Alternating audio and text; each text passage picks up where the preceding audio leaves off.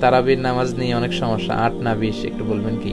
যুবক সমাজ যারা আছো, আট, বিশ, এগুলো আমি তোমাদের মুখে শুনতে চাই না। আমি শুনতে চাই যে কেন বাংলাদেশ এত দ্রুত তারাবি পড়া হয়? ও ভি তালুকদার, হুজুর প্রেম করা যাবে কিনা?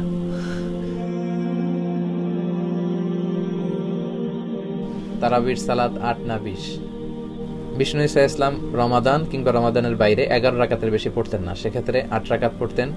তিনি তারাবি বলেন বা কেয়ামুল্লাইল বলেন, যেটাই বলেন, আর বাকি তিন রাকাত ছিল বেতের, পড়তেন। পরবর্তীতে উমরে ফারুকের সময় উনি সাহাবিদেরকে বিচ্ছিন্ন হয়ে রাত্রিবেলা মসজিদে নামাজ পড়তে দেখে একত্রিত করলেন। তখন থেকে বিশ রাকাত চালু হলো। মসজিদের নববীতে, মসজিদুল হারামে আজও বিশ রাকাত হয়। আমি আলাজার ইউনিভার্সিটি থেকে ব্যাচেলর করেছি, সেখানেও বিশ রাকাত হয়। তো যেহেতু এটা এবাদতের মাস, যত বেশি আবাদত করা যায়, ততই ভালো। সাহাবারা বিশ রাকাত করেছেন। সাহাবারা তো আমাদের চেয়ে ইসলামকে ভালো বুঝেছেন। মসজিদুল হারাম মসজিদ নবীতে আজও বিশ রাকাত হয়। মানুষদেরকে যত বেশি সুযোগ দেওয়া যায় এবং বিশ রাকাত হওয়াটাই ভালো, ফলে কারও যদি স্বাস্থ্য খারাপ লাগে, সে চলে গেল। বা কিছুক্ষণ বিশ্রাম নিয়ে আবার অংশগ্রহণ করল। আট রাকাত হলে যেটা হয় খুব অল্প সময়ে শেষ হয়ে গেল, ফলে অনেকে হয়তো বঞ্চিত হতে পারে। বিশ রাকাতে চালু থাক যার যতটুকু সুযোগ হয় পড়বেন ফ্লেক্সিবিলিটি আছে। আট রাকাত, বিশ রাকাত, এখানে আমি বলেছিলাম সম্মানিত ভাইয়েরা কোয়ান্টিটি ধর্তব্য না। মানে কয় রাকাত, এটা বেশি গুরুত্বপূর্ণ। গুরুত্বপূর্ণ কোয়ালিটি কত ধীরস্থিরভাবে কত স্মুথলি আপনি পড়ছেন। আলহামদুলিল্লাহ আমি তো মালয়েশিয়াতে তারা বিপরী কত চমৎকার ধীরস্থিরভাবে যে তারা পড়ে, মিশরে তারা পড়েছি, কত ধীরস্থিরভাবে পড়ে, হেরেম শরীফে কত ধীরস্থিরভাবে পড়ে। আপনারা দেশে আট না বিশ যারা আমার আলোচনা পছন্দ করেন, আমি তাদেরকে দাবির জায়গা থেকে বলব, আট না বিশ তারা কেউ এ নিয়ে তর্ক করবেন না। আমার আলোচনা যারা পছন্দ করেন, ইসলামকে যারা পছন্দ করেন, তাদেরকে আমি বলব ইয়াং যুব- যুবক সমাজ যারা আছো আট বিশ, এগুলো আমি তোমাদের মুখে শুনতে চাই না। আমি শুনতে চাই যে কেন বাংলাদেশ এত দ্রুত তারাবি পড়া হয়? এ নিয়ে সবাই কথা বলেন যে, আমরা আস্তে আস্তে পড়ব। আমরা সারা বছর ব্যস্ত থাকি, রমাদানে একটু আমরা দাঁড়িয়ে আল্লাহর সামনে কতটুকু দাঁড়িয়ে থাকা যায় এই অভ্যাসটা আমরা করার চেষ্টা করব। কারও যদি শরীরে খুব বেশি না খুলে, আপনি পড়েন, আট পড়েন, বারো পড়েন, আবার শেষ রাতে উঠে কিছু পড়েন, যার যতটুকু সুযোগ, এ নিয়ে বিতর্ক করার কোনো সুযোগ নেই। বিধর্মীদের সাথে ইফতার করা যাবে কিনা? জি, বিধর্মীদের সাথে ইফতার করা যাবে ইনশাল্লাহ বিধর্মীদের টাকা ইফতার করা যাবে কিনা? হ্যাঁ বিধর্মীদের টাকা দিয়েও ইফতার করা যাবে। বিধর্মীদের অনেকের হাদিয়া বিষ্ণু ইসা ইসলাম গ্রহণ করেছেন। রোমের বাদশাহ হাদিয়া দিয়েছেন বিষ্ণুনবী গ্রহণ করেছেন।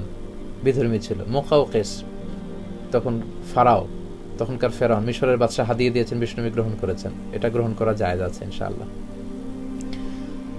আমার ভাইয়েরা অনেক প্রশ্ন করেছেন। শুধু বিসমিল্লাহ রহমান রহিম বলে ইফতার করলে চলবে? হ্যাঁ চলবে। আপনি খাবার শুরুতে বিসমিল্লা বলবেন।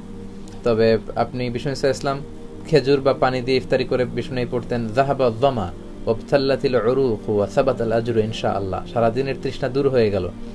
আমার রগে শিরায়, উপশিরায় সিক্ততা পৌঁছে গেল।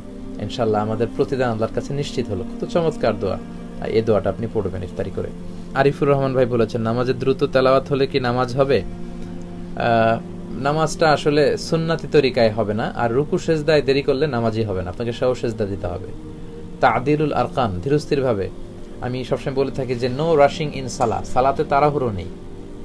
নো হ্যাস্টিনেস ইন সালা সালাতে তাড়াহুড়ো করা যাবে না। আপনি রিল্যাক্সের সাথে রুকু করবেন। পিঠটা সোজা হবে স্ট্রেট ফরওয়ার্ড রুকু থেকে দাঁড়িয়ে সোজা হয়ে দাঁড়ায় থাকবেন। আবার সেজদায় চলে যাবেন আপনি। দুই সেজদার মাঝখানে আপনি বসবেন।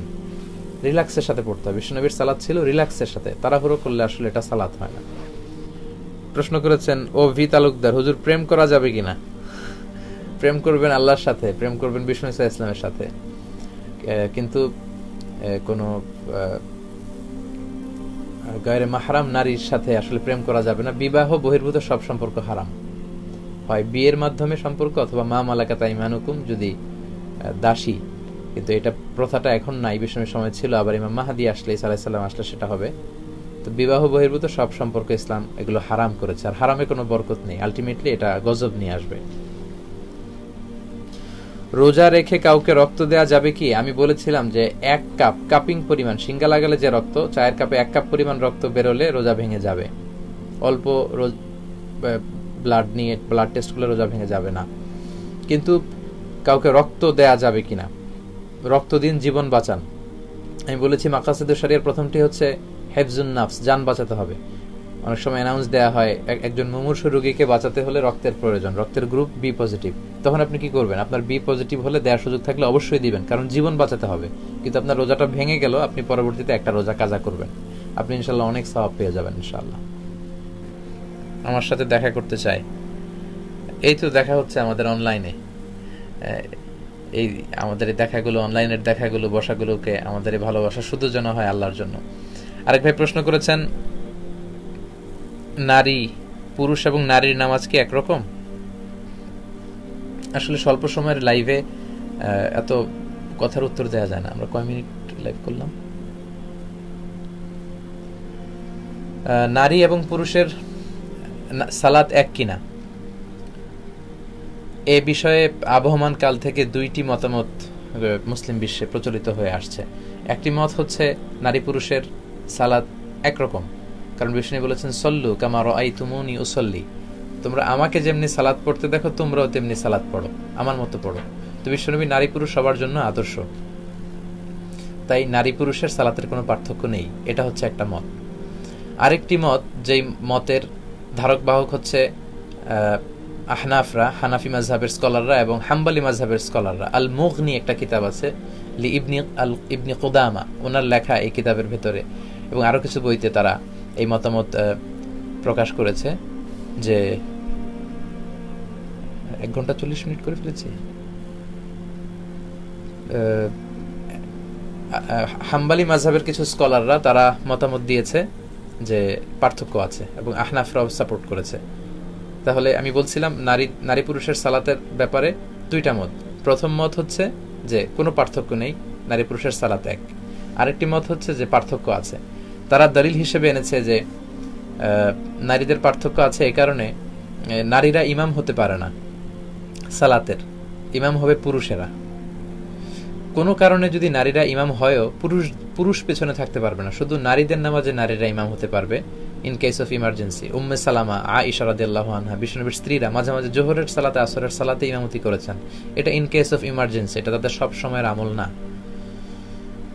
তো সেক্ষেত্রে আবার শর্ত হচ্ছে, জাহারি কেরাতে নারীরা আওয়াজ করে পড়তে পারবে না। যেমন আমি পুরুষ, আমি মাগরিবের নামাজের ইমামতি করলে আওয়াজ করে সুরা পড়ব। কিন্তু নারী যদি ইমাম হয়, পুরুষদের তো ইমাম হতেই পারবে না, শুধু নারীদের হতে পারবে।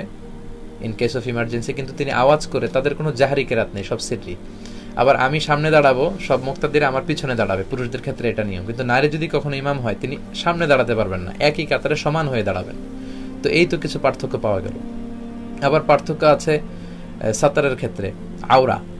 পুরুষদের আওরা হচ্ছে নাবি থেকে হাঁটু, কিন্তু নারীদের সারা দেহ ঢেকে রাখতে হয়। আবার নামাজে যদি কোনো ভুল হয়, ইমাম সাহেব ভুল করেন, আমরা পেছন থেকে পুরুষরা পড়ব সুবাহান আল্লাহ নারীরা যদি জামাতে থাকে, তারা কিন্তু সুবাহান আল্লাহ বলতে পারবে না। তারা হাততালি দিবে। তারা বুকে হাত বেঁধে এরকম এরকম হাততালি দিবে। হাদিসে এসেছে যে রিজাল ও তসফিকুল নিসা নামাজে কোনো সমস্যা হলে ফালিউসাব বিহার রিজাল ফালিউসাফিকিন নিসা। পুরুষরা সুবাহান আল্লাহ বলবে। আমরা বাংলাদেশে আল্লাহ আকবর বলে লোকমা দিই আল্লাহ আকবর বলে ফেলি। এটা আসলে হাদিসের পরিপন্থী। সুবাহান আল্লাহ বলা উচিত। সুবাহান আল্লাহ বলে ইমাম সাহেব বুঝবে, ও ভুল হলো। কিন্তু ইমাম সাহেব এমন কোনো ভুল করল যেটা পুরুষরা কেউ ধরতে পারল না? পেছনের নারীরা বুঝতে পারল। তারা কি সুবাহানাল্লাহ বলবে? না, তাদের আওয়াজটাও কিন্তু আওরা, পর্দা। এই জন্য তারা হাত বেঁধে আছে এভাবে। সবাই মিলে হাততালি দিলে এভাবে। সবাই ইমাম সাহেব বুঝতে পারবে, ও তাহলে কোনো ভুল হয়েছে, তিনি শুধরে নেবেন। এই তো আরেকটা পার্থক্য পাওয়া গেল। এভাবে অনেকগুলো পার্থক্য পাওয়া যায়। পুরুষদের জন্য জামাতে, মসজিদে পড়া, সুন্নাতে মোয়াক্কাদা। কিন্তু নারীদের জন্য মসজিদের চেয়ে ঘর উত্তম। এই যে পার্থক্যগুলো আছে, এগুলোকে সামনে এনে হাম্বালি মাঝহের স্কলাররা, হানাফি স্কলাররা ওনারা বলে যে কিছুটা পার্থক্য সেটা হচ্ছে তারা নিজেদেরকে আটো সাটো করে দাঁড়াবে। তারা পাগুলো মিলিয়ে দাঁড়াবে এবং সিজদায় গেলে দেহটাকে জমিনের সাথে লাগিয়ে দাঁড়াবে। তা না হলে পুরুষদের মতো সেজদা দিলে তাদের ব্রেস্ট স্তন ঝুলে থাকে। এটা দেখতে হয়তো খারাপ দেখায়, তাদের পর্দার কিছুটা সমস্যা। এই দৃষ্টিকোণ থেকে তারা বলেছেন কিছুটা পার্থক্য আছে। তো আবহমান কাল ধরে এই দুইটা মত এক মত বলে যে না, কোনো পার্থক্য নেই। আরেক মত বলে যে কিছুটা পার্থক্য আছে যাতে নিজেদেরকে আরেকটু আব্রু পর্দার মধ্যে রাখা যায়। তো যেহেতু ফ্লেক্সিবিলিটি আছে, আপনি যে কোনো মত গ্রহণ করতে পারেন।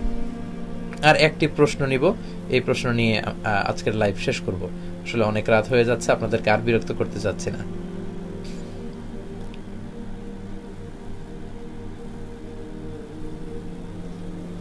আপনাকে ভালোবাসি। আরিফুল ইসলাম লিখেছে, একটু দেখা করতে চাই। আরিফ লাভ ইউ টু তোমাকেও ভালোবাসি। যারাই, ভাইয়া, পঞ্চাশ মিনিট হয়েছে, তুমি ভুল বলেছ, আসলে একটা চল্লিশ বাজে না? আচ্ছা পঞ্চাশ মিনিট হয়েছে, ঠিক আছে ঠিক আছে, দেখতে পেরেছি।